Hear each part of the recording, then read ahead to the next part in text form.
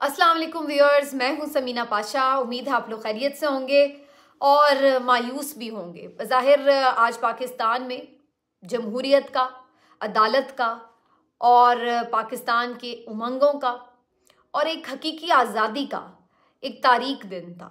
और आज supreme court of Pakistan की तरफ़ से जो फैसला किया गया, वो मेरे लिए बिल्कुल भी हैरत अंगेज़ नहीं था।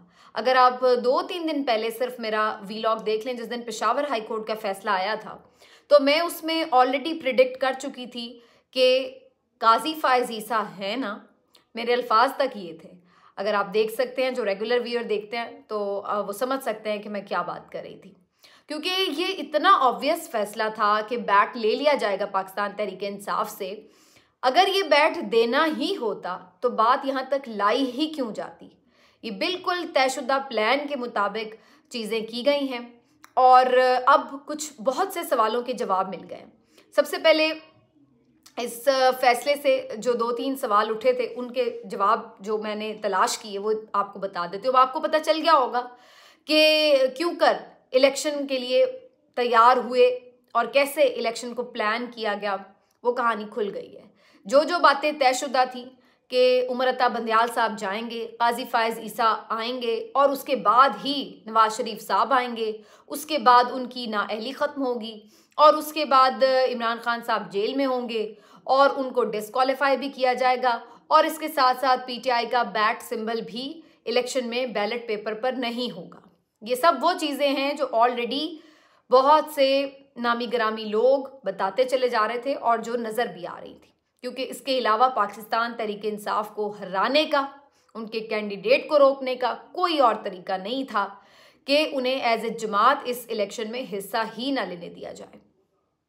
तो बहरहाल, आज यकीनी तौर पर उन सब के लिए एक मायूस दिन जो ये समझते थे कि काजी फाज ईसा बड़े कोई आइन पसंद जज हैं, बड़े कोई जमहूर पसंद जज हैं, और बड़ा कोई वो समझते थे कि कोई एक उसूलों पे कारबंद शख्स है। तो आज उन सबको थोड़ी शर्मिंदगी तो ज़रूर हुई होगी और आज वो अपने आप के ऊपर लान तान ज़रूर कर रहे होंगे कि वो एक कैसे शख्स को सपोर्ट करते रहें। मैं ज़ाती तौर पर किसी की शख्सियत के ऊपर तनकीद करने से गुरेज करती हूँ, लेकिन काजी फायज ईसा ने जिस तरीके से ये सारी हरकत की है, जिस तरह उन्होंने सारी कार्रवाई चलाई, जिस तरीके से उन्होंने यक तरफा तौर पर पाकिस्तान तहरीक इंसाफ के हर केस में खुद दूसरी जानब से वकालत की और पीटीआई के वकला को बोलने नहीं दिया, उनकी बात नहीं सुनी और मुसलसल उनको रगेदा। ये सब उनकी जो एक बायसनस थी, एक तासुब था और जो एक उनके दरमियान में, जहन में अटकी हुई बात थी कि पीटीआई के दौर में उनके खिलाफ रेफरेंस क्यों हुआ। ये वो चीज़ें थी जो कि बहुत ही क्लियर और ऑब्वियस थी। और इसके बाद ये कोई प्रिडिक्ट करना, अगर कोई ये समझ रहा था कि कोई मुआजा होगा और अचानक से पीटीआई को बैट मिल जाएगा और वो एज ए पार्टी इसमें हिस्सा ले सकेगा तो वो कोई अहमकों की जन्नत में ही रहता था। मैंने आपको पहले ही बता दिया था कि ऐसा नहीं होने वाला। लेकिन मेरा जो दूसरा अंदाज़ा था वो ये था कि पीटीआई जो कोई इतिहाद बनाकर अगर जाएगी तो उसकी सूरत में उनको कोई फ़ायदा हो सकता है, जो कि प्लान बी था बेसिकली लेकिन ये प्लान बी बुरी तरह से फ्लॉप हुआ उसके ऊपर मैं तफसीली बात करती हूँ। इससे पहले मैं ये ज़रूर बता दूँ कि काजी फायज ईसा साहब ने आज इलेक्शन कमीशन ऑफ़ पाकिस्तान का फैसला बरकरार रखते हुए पेशावर हाई कोर्ट के फैसले को कलदम करार दिया है और उन्होंने इसमें तोजी दी है कि जी, पाकिस्तान तहरीक इंसाफ के अंदर जमहूरियत होना बड़ा ज़रूरी है, मुल्क में जमहूरियत हो ना हो, यानी आप करोड़ों लोगों की पार्टी को उठा करके बाहर फेंक दें इलेक्शन से। और फिर आप उस पर तोजी ये दें कि चूँकि जी इन आठ दस लोगों को इलेक्शन नहीं लड़ने दिया गया पार्टी में तो इसलिए ये ज़रूरी है कि करोड़ों लोगों का जो हक है वो उनसे छीन लिया जाए, क्योंकि इन चार आठ लोगों को उनका हक नहीं मिला। तो शेम ऑन दिस डिसीज़न ये एक बहुत ही शर्मनाक और अफसोसनाक डिसीज़न और जितनी इसकी मजम्मत की जाए, उतनी कम है। और आज बड़े बड़े सहाफ़ी ये बोल पड़े आप काजी फायजीसा साहब के जो मतवाले सहाफ़ी थे जो उनकी तारीफ़ें नहीं करते थकते थे आज उनकी भी आप ज़बान सुन लें जो उन्होंने इस शख्स के लिए कही कि इन्होंने क्या इस आ, हिस्ट्री में कहाँ अपना नाम जाके लिखवाया। और बाकी भी जो नामी ग्रामी सहाफ़ी हैं जो पीटीआई के बड़े नाकद रहे हैं वो भी हामिद मीर साहब हो नसीम ज़ारा साहिबा हो इन सब की आप आज ट्वीट्स देख लें वो सब इस बात के ऊपर कन्विंस दिखाई देते हैं कि काजी फायजीसा ने तारीख के स्याह पन्नों में अपना नाम लिखवाया है और यही वो लेगेसी है जो वो छोड़ के जाएँगे। लेकिन ये जो लोग इस तरह के होते हैं ना, इनको इन चीज़ों से फ़र्क नहीं पड़ता कि उनका नाम कैसे लिया जाएगा, उनको कैसे याद रखा जाएगा। उनके नज़दीक ये बेवकूफ़ाना बातें होती हैं। उनके लिए इंपॉर्टेंट क्या होता है?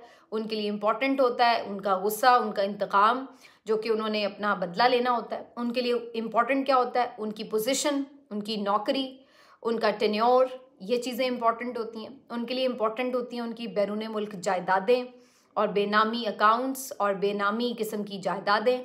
तो ये चीज़ें उनके लिए इंपॉर्टेंट होती हैं। ये चीज़ें इंपॉर्टेंट नहीं होती कि उसके बाद हमें इस तरह की हरकत घटिया करने के बाद हमें कोई कैसे याद रखेगा। ये आप किसी भी डिपार्टमेंट के हेड के ऊपर इम्प्लीमेंट कर सकते हैं। अब इसमें जो कॉन्सिक्वेंसेज हैं, मैं आपको बता देती हूँ, पाकिस्तान तरीके इंसाफ के लिए अब ये इलेक्शन बहुत मुश्किल हो चुका है। मैं नाउमीदी की बात नहीं करी, लेकिन मैं आपको एक रियल ग्राउंड पे जो एक चीज़ है वो ये कि आपको ज़ाहिर है पीटीआई को मखसूस नशस्तों से महरूम होना पड़ेगा, पहली चीज़।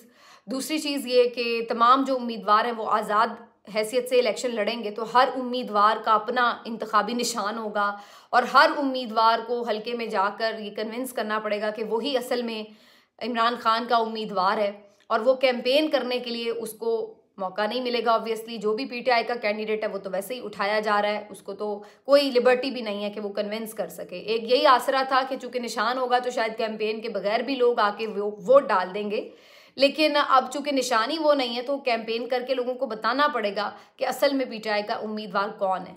तो बड़े रेयर कम चांसेस होंगे अब पाकिस्तान तरीके इंसाफ के, कि वो इस इलेक्शन में, इस पोजीशन में हो कि वो कोई पूरा इलेक्शन जीत जाए या उसको जो एक एग्जैक्टली exactly मकबूलियत है, उसको सही तौर पर कैश करवा सके तो वो चांस अब पीटीआई के लिए बहुत कम हो चुका है। लेकिन कुछ लड़ाइयाँ लड़ने वाली होती हैं। हमेशा हर वक्त ऐसे नहीं होता कि आप जो स्ट्रैटेजी बनाएँ वो उसी तरह से कामयाब भी हो। क्योंकि आपने देखा पाकिस्तान पीपल्स पार्टी ने भी एक वक्त में सत्रह नशस्तों के साथ भी पार्लियामेंट में बैठना पसंद किया। और ये कौमों की ज़िंदगी में भी वक्त आते हैं सियासी जमातों की ज़िंदगी में भी वक्त आते हैं अच्छे बुरे टाइम आते हैं। तो ये इलेक्शन शायद पीटीआई के लिए नहीं है लेकिन आ, अभी ऐसा नहीं है कि उसके बाद दुनिया ख़त्म हो गई है और उसके बाद कुछ नहीं है। चीज़ें बदलती रहती हैं हालात चेंज होते रहते हैं लेकिन इस वक्त के इलेक्शन के लिए पाकिस्तान तहरीक इंसाफ को तकरीबन दीवार के साथ लगा दिया गया है। और दूसरी बात इसमें जो बड़ी इंपॉर्टेंट है वो ये कि अगर कोई ये समझ रहा है कि ये सिर्फ़ पीटीआई के लिए इलेक्शन नहीं है तो वो आ, मैं इसको दूसरी तरह से देखती हूँ। मेरे ख्याल से ये इस दफ़ा पीएमएलएन का भी आखिरी इलेक्शन है। पाकिस्तान तहरीक इंसाफ के साथ जो कुछ हुआ है और जिसने किया है वो सबको पता है। और चूँकि जिन्होंने किया है उन तक तो कोई हाथ नहीं डाल सकता ना उन्हें कोई आ, कुछ कह सकता है। तो अल्टीमेटली जो इसका गुस्सा है ना वो निकलेगा पीएमएलएन के ऊपर। और पीएमएलएन के लिए अब अपना जो एक साख है अखलाकी उसको बचाना नामुमकिन हो जाएगा और कैंपेन करना बड़ा मुश्किल हो जाएगा। क्योंकि जब आप किसी ताकतवर को कुछ नहीं कह सकते तो आपका गुस्सा जो है उन पे निकलता है जो आपके अंदर फ्रस्ट्रेशन है, वो उन लोगों पे निकलती है जो आपके हथे चढ़ जाते हैं। तो अगर पीएमएलएन ये सोच रही है कि इस तरह से एक अपने लिए ग्राउंड खुला करवा के और वो जैसे चाहे खेलेंगे, आएँगे और वो करेंगे तो मुझे लग रहा है कि उन्होंने अपना जो पूरा एक सियासी सरमाया हो सकता था, वो उन्होंने बिल्कुल खो दिया है। अभी एक एडजस्टमेंट की वजह से मौजूदा इस्टेब्लिशमेंट और चीफ जस्टिस साहब का एक पूरा जो नेक्सेस है उसके साथ उन्होंने मिल के जो ये पूरी गेम प्लान की उसके मुताबिक वो शायद आ जाएँ शायद हुकूमत भी बना लें। लेकिन ये उनकी लास्ट हुकूमत होगी और उसके बाद इनके लिए आ, मेरा नहीं ख्याल है कि अखलाकी तौर पर ये वहाँ पर खड़े हो सकेंगे लोगों में। और अखलाकी जवाज़ कोई नहीं होगा इस हुकूमत का। तो ये आ, उन्होंने बहुत लूज़ किया। क्योंकि जो नौकरी पे लोग हैं वो चंद साल होते हैं फिर चले जाते हैं। और उनको इससे फ़र्क नहीं पड़ता कि बाद में लोग उन्हें किस तरह याद रखते हैं, जैसे मैंने पहले कहा। लेकिन जो सियासी जमातें जो थ्रू आउट साल हा साल चलती हैं इन्होंने तो आगे फिर अपनी नस्लें भी तैयार की हुई हैं आपके ऊपर हुक्मरानी करने के लिए। तो इनको इस चीज़ से तो फ़र्क पड़ेगा कि ये कहाँ कहाँ आवाम में रहते हैं या नहीं रहते। तो ये जहाँ जहाँ भी जाएँगे, इनको लोगों का गम गुस्सा बर्दाश्त करना पड़ेगा। चाहे आप उन्हें बदतमीज़ कहेंगे बाद में, चाहे आप उन्हें कहेंगे कि इमरान खान ने सिखाया, जो भी कहें। लेकिन आपने लोगों को जब रोक दिया कि वो आपके खिलाफ वोट करके अपना फ्रस्ट्रेशन निकाल सकें, अगर वो आपको पसंद नहीं करते तो वो दूसरे पार्टी को पसंद करते हैं उसको वोट कर लें। जब आपने इस चीज़ से उन्हें रोक दिया तो फिर अब आप भी तैयार रहें कि शायद ये गुस्सा किसी गैर जमहूरी तरीके से ना निकले। मुझे इस बात का खदशा है। मैं ये बिल्कुल नहीं चाहती कि मुल्क में कोई बदमनी हो या कोई इस तरह के अल्लाह ना करे हालात हो, इंतशार वाले। लेकिन जो हालात बन रहे हैं, देखिए, इतने करोड़ों लोगों को अगर आप सप्रेस कर रहे हैं, दबा रहे हैं तो ये कोई अच्छे हालात नहीं है।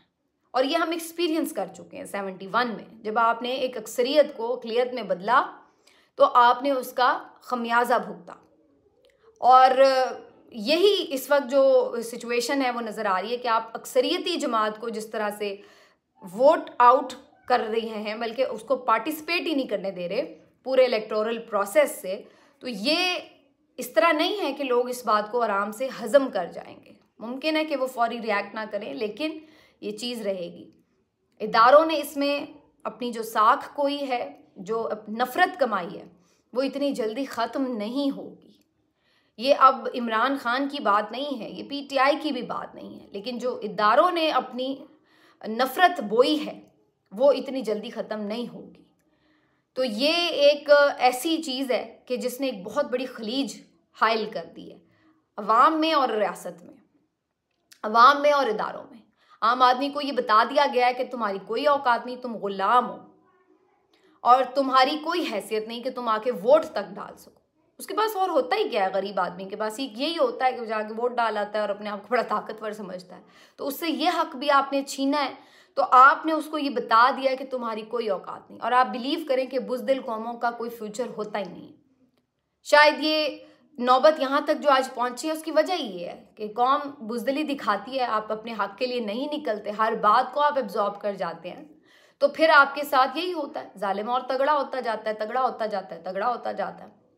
तो अब आप और आपकी आइंदा आने वाली नस्लें इसी बुजदली को लेके बैठे रहें और आप और हम मिलकर इसको भुगतते रहेंगे। क्योंकि ये तो फिर ऐसे ही चलेगा। ये तो आपको समझा दिया गया आज वो तमाम लोग जो ये पूछते थे, हकीकी आज़ादी क्या होता है? इमरान खान कौन सी हकीकी आज़ादी की बात करते हैं? किससे हकीकी आज़ादी लेनी है? तो उनको अच्छी तरह समझ आ गई होगी कि वो किस हकीकी आज़ादी की बात करते हैं। एक ऐसी आज़ादी जिसमें आप अपनी मर्ज़ी से वोट भी नहीं डाल सकते। और बहुत सारे लोग जो ये कुछ दिन पहले ये बात करते थे कि जज साहिबान क्यों इस्तीफ़े दे गए तो उनको भी जवाब मिल गया होगा कि ये जो कुछ गदर मचने जा रहा था, जो अदलिया ने एक शर्मनाक किरदार अदा करना था, जो कुछ लोग होते हैं वो नहीं उसका पार्ट बनना चाहते। वो अपने आप को उस गटर में बैठे हुए अपनी उस गलाजत को अपने साथ नहीं चिपकाना चाहते तो वो सोचते हैं कि यार हम कम अज़ कम अपना दामन जो है बचाएँ और इस गलाजत से एक तरफ़ हो जाएँ।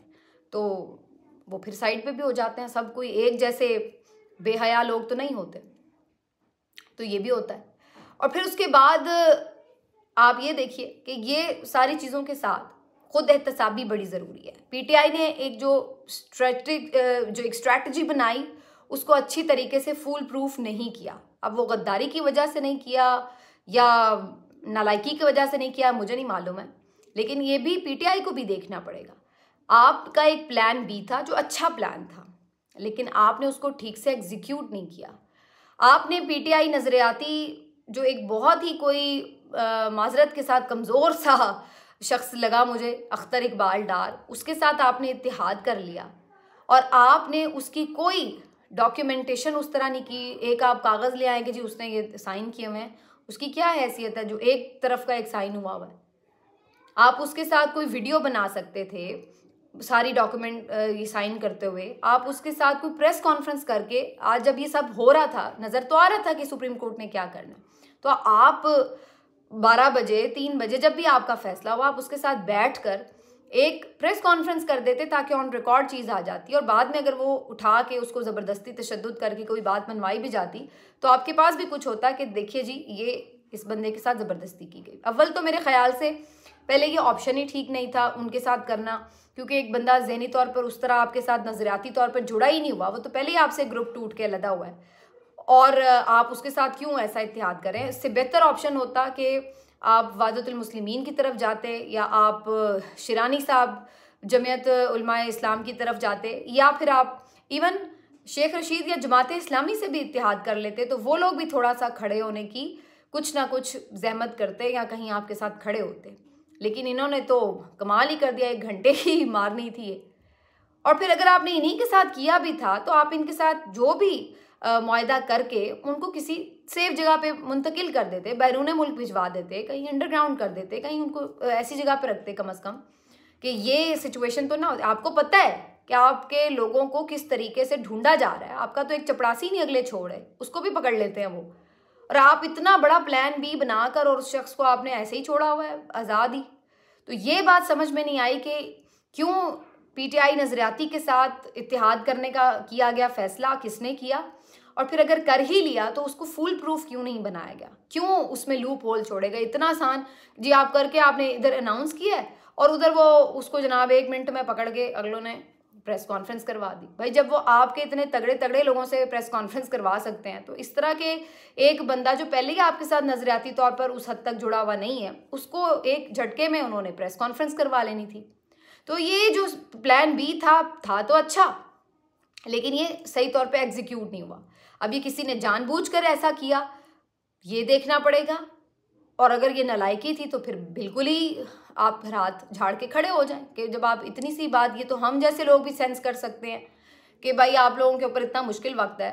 आपका झंडा लेके कोई बाहर नहीं निकल सकता और आप किसी बंदे के साथ इतिहाद करके पूरी अपनी पार्टी की इलेक्शन कैंपेन उसके सर पे चलानी है आपने और आपने उसको ऐसे ही छोड़ा हुआ है। तो ये अपनी भी खुद एहतसाबी करनी चाहिए कि कहाँ पर आप लोगों से भी गलतियाँ हुई बाकी जी इलेक्शन अभी हो रहा है, लेकिन अब इस इलेक्शन में आ, क्या बाकी रह गया? इसको इलेक्शन कहना ही इलेक्शन की तोहन है। और मेरे ख्याल से जो भी आज़ाद उम्मीदवार लड़ेंगे ये पीटीआई अपनी सोशल मीडिया के ऊपर उसकी कैंपेन करते रहेंगे।